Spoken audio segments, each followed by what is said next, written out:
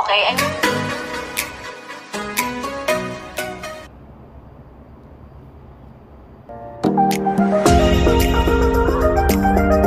May isa ka bang tao na pinakaayaw mo ka-work? ah... pwede bang... Ano ba to?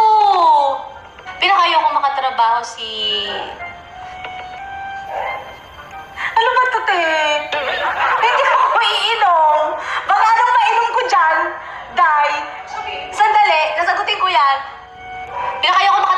Eric Santos, okay? Ayoko siya makatrabaho kasi panay daot sa akin yung tao na yan. Every time makikita ko yan, palagi akong pinagtitripan. Pero love ko yan si Eric. Hindi ako iinom ha, sinagot ko yon. Single ka ba ngayon? Single ako ngayon. Agad? Next question, single ka ba ulit? Single pa din.